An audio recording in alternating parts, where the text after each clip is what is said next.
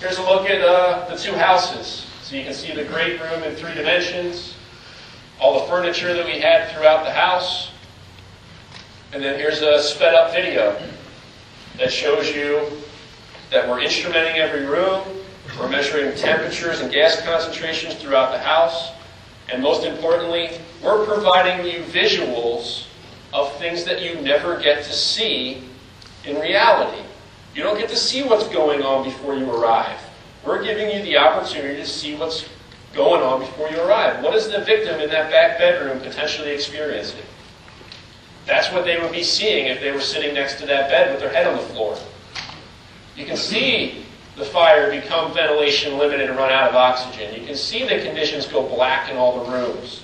You can see what you would experience if you were behind a closed door in a bedroom, much better than the one below it, which is an open door. You can see the impact of opening the door, opening a window. What would happen if we open that window? What would happen if we put a hole in the roof? What would happen if we open the back window? We can do all these things, and we've done them for you, and we're giving you the material to learn from. Do you see the smoke lift in these back rooms once the ventilation gets made? You don't, because they're not in the flow path. They don't get the oxygen into those back rooms. Those of you that saw Dan earlier, this is really important. You have a room like this out in the open. This is what your fire growth curve looks like. Ignition, growth, fully developed, decay. That's really what we're doing in our firefighter training buildings. We can't do this in our firefighter training buildings, where you get growth, then you get a decay stage, then there's a ventilation, and then you get growth, and then it's fully developed, and then you get decay. That's what happens when you take this and put it in a structure and ventilate the structure. This is even too simple. Here's a fire growth curve where two things happen. The front door gets open and a hole gets cut in the roof. It's important to know that there isn't one growth stage. There isn't one decay stage. There isn't one fully developed stage. Don't get thrown off by all this stuff. It's actually pretty simple. The fire ignites. It grows. At some point, it transitions from a fuel-limited fire to a ventilation-limited fire. As it makes that transition, it's running out of oxygen, and then you get your first decay stage, or your initial decay stage. From this point on, we're ventilation limited. We're now producing more fuel than we have oxygen to burn. We get our initial decay. An event takes place. That event happens to be ventilation. In this case, we open the front door. Then we get a second growth stage. At some point during that growth stage is flashover. Flashover is not a stage of fire growth, it's an event. It's a momentary event that takes place during that growth stage, and that growth stage continues. At some point, when we've got fire completely coming out of that front door, and that flow path only exists at the front door, you got flames coming out of the front door, you see air going in low, flames coming out of the top. It's burning there because it ran out of oxygen, and that's the only place it can find the oxygen. That's fully developed. It can't get any bigger. It's responded to the oxygen, it hit a peak. So now we're in our first fully developed stage. So the fire is invented, it's venting. You give it more air. In this case, we vent the roof. We get another growth stage. More fire, more energy is being produced. And then once we've got fire coming out of the front door and fire coming out of the roof, we hit a fully developed stage again. So we've got a new fully developed stage that is above the other fully developed stage because we're burning more now. And then we go ahead and we hit it with some water, and then we get to the decay stage. What would happen if we went ahead and took that window out after we made the roof vent? We'd come up again, another growth stage, another fully developed stage, until we get water on it, or we run out of fuel, one the two, and then we get the decay stage. I think we have a lot of folks out, out there that believe when the fire's showing from the structure, it's vented. We're all good. It's coming out. Well, you're all good because you know where it is. But if you keep making openings to a ventilation limited fire, you will keep having fire coming out of the openings. Here's a fire we had in Prince George's County that my company was third due engine on. If there was a bread and butter house fire, this is the bread and butter house fire. Very small ranch house. Engine and truck crew arrive almost simultaneously. Little smoke showing. Cakewalk. Truck crew gets their masks on, force the front door, they go in, they start a search. They're coordinated with the hose line, right? It's right here, it's ready to go.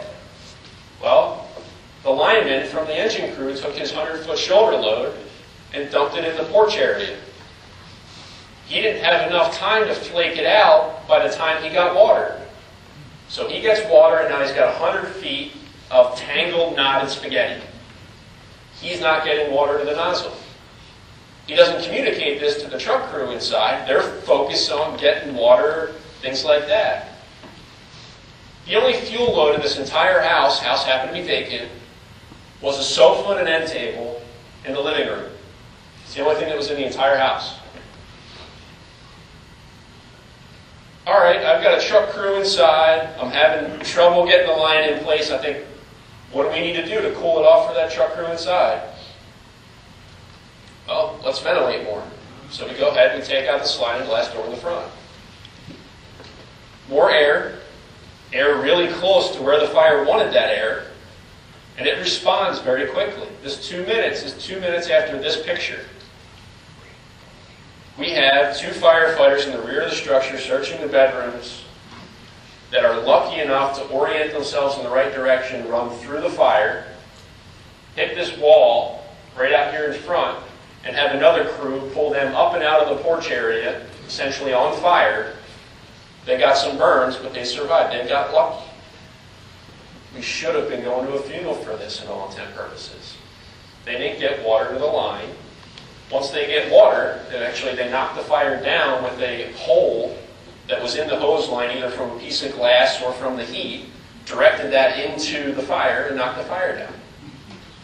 Doesn't take a lot of water to knock out these ventilation limited fires. Forcing the front door is ventilation. Here's another one that we've, we've overlooked for some time. Do we teach fire behavior with forcible entry? Probably almost never. However, a doorway is the best possible way to ventilate a ventilation limited fire. It goes all the way to the ground, which is ideal. So your air can go in low and some hot gases can come out high. It's one of the most efficient ways we have to grow a fire. So if you've got a ventilation limited fire, which we had in the one story house and the two story house, from the moment the front vent gets open until flashover, you're looking at like 60 seconds to two and a half minutes, depending on a couple variables, just by opening the front door. Do we ever show up, shock the front door open before the hose line's are ready to go? All the time. Do we show up as chiefs, want to see what conditions we have, pop the front door, and leave it open? Of course we do. Do we have cops that get that front door open all the time before we get there because they happen to be around the corner? Do we get neighbors that find ways to get doors open? Absolutely. Best way to grow a fire. Who knows how long that door's been open? Maybe the occupant left it open, maybe they forced it open. The fire's not going to wait for you to get your line together and get your mask on. It's going to respond to that oxygen.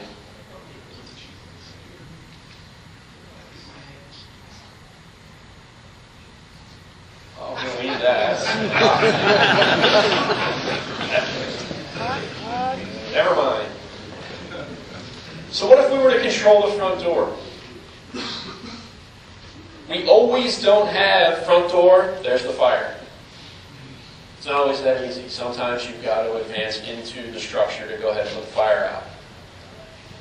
If you can delay the chance that it becomes a race between how fast you can get in there and how fast the air can get in there, if you're not really tight with your 90 seconds, you want to do everything you can to limit the oxygen going in through that front door. So even if you have a hose line going in through that front door, straight in, and you still leave the door open about a foot and a half, that two-thirds that you're blocking that opening has a really positive impact on slowing that fire growth down. Kind of gives you yourself a little bit of a buffer. Here's what that looks like. The one on the left, we force it all the way open, allow the hose crew to go in, and then we pull it closed so it's only open so a two-inch line can go straight through the front door. The one on the right, we just kick it all the way open.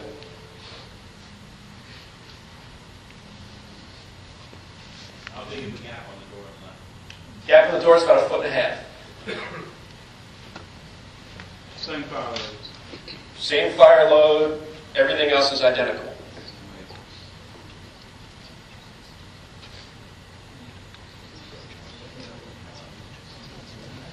So what does that look like? Also combine this with a, with a vertical ventilation test. The way we triggered vertical ventilation was as soon as we hit 400 degrees Fahrenheit at 3 feet, at your head where it would be extremely hot. So what we saw, from the door wide open to the door control, there was about a three minute lag in reaching 400 degrees at 3 feet. That's an extra three minutes of getting water on that fire. In the two-story, in the two-story, we've got a fire in the back of the house, so the door is further away from where the fire is. Longer flow path for that for that air to take to get to the fire. We thought the fire was going to go out when we controlled the door. Versus wide open, we went 400 degrees in about nine minutes, or I'm sorry, in about uh, 12 minutes, versus leaving the door controlled, thought the fire was going to put itself out. So we wound up opening it all the way to continue to grow it so we could do the vertical ventilation piece of the test. Door control is a temporary action. I recommend, as whoever the guy is you have at the front door pinch point advancing line, has one hand on the doorknob controlling the door, and the other hand he's feeding line into the crew. Any little bit, whether it's half or two thirds or whatever, that he's stopping that oxygen from going in through that front door, he's buying that crew time to put water on the fire. Once water gets on the fire, open the door. That's when you're winning the battle. It's all about winning the battle. The fire is going to create a certain amount of energy. If you're taking away more energy with your hose line than that fire is creating, vent your heart out. Open it up, you've won the battle, the smoke will lift. If that fire is producing more energy than you're taking away and you ventilate, conditions will get worse. It's all about that heat release rate. It's all about that ventilation limit. Door control is not only for hose line advancement. I'm not suggesting you search ahead of the hose line, but if you have to, and I understand there's conditions where you may have to, my kid is in that room right there, and you're going to go by way of the interior. One of the best things you can possibly do is control that door behind you. That way it's not a race. If you can buy yourself three extra minutes or more to get that victim and get them out before it flashes on you because you don't have any means to slow it down, you don't have a hose line, this is a tool to consider. It's not only for the front door. If you're moving your way through a house, every door that you can control, you can cut yourself off from the flow path and buy yourself plenty of time to search the area you're in. Or if things go to shit on you and you need to get out, and you can get between where the fire is and a closed door, you're going to buy yourself all kinds of time because you're not the flow path anymore. People get concerned about the door relatching and things like that after you force it. Use a tool. If it's only open a little bit, you're doing a heck of a lot of good.